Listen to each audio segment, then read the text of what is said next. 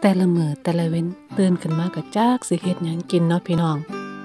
กินแต่ของเก่าๆกับเขาย่างเก่าอะไรมันก็เบื่อเนาะเปิดตู้เย็นออกมาก็เห็นไข่อยู่ในตู้เย็น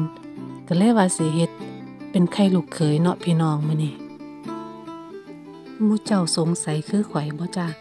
เป็นหยังเพิ่นคือเอิ้นว่าไข่ลูกเขยเป็นหยังเพิ่นคือบ่เอิ้นว่าไข่ทอดลาดซอสมะขาม หรือว่าไข่ทอดเปรี้ยวหวาน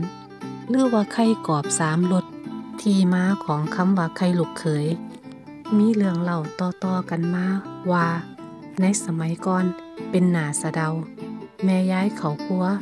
เฮ็ดน้ำปลาหวาน เอาไว้เพื่อกินกับสะเดาหลวกกับปลายาง แต่ลูกเขยบ่าอยากกินปลา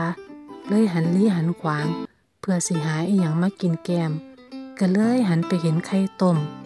ก็ลองเอาไข่ต้มมากินกับน้ำปลาหวานเบิ่ง มันก็บ่เขากันล่ะพี่น้อง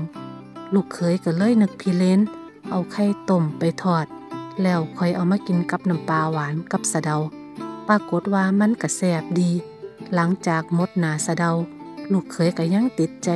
ในไข่ทอดราดน้ำปลาหวานอยู่ก็เลยเอามาลองเห็ดกินอีกเทียหนึ่ง โดยเอามาราดน้ำปลาหวานโรยหอมเจียวที่เหลืออยู่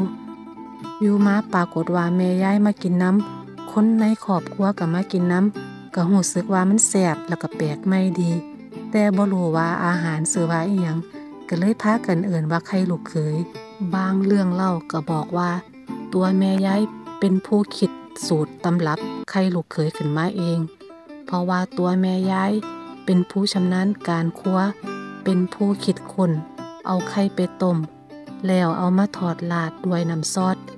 ขณะกำลังคิดประดิษฐ์ประดอยเห็ดไข่เมนูนี้ได้แงนหนามองขึ้นไปบนซานบาน ปรากฏว่าเห็นลูกเขยนุ่งสโลงนางสั้นเขา สิ่งที่แม่ย้ายเห็นนั่น สมาคือกันกับผิวพรรณของเมนูใหม่นี่แท้ซะเหลือเกินพะสันว่า และทั้งหมดนี้ ก็คือเป็นทีมาของคำว่า ไข่ลูกเขย แต่ขอเท็จจริงเป็นจังใด กับบ่มีหลักฐานยืนยันแน่นอนเนาะจ้าแต่กับเป็นเรื่องกิดเล็กๆน้อยๆ เอามาเว้าสู้กันฟังเนาะจ้า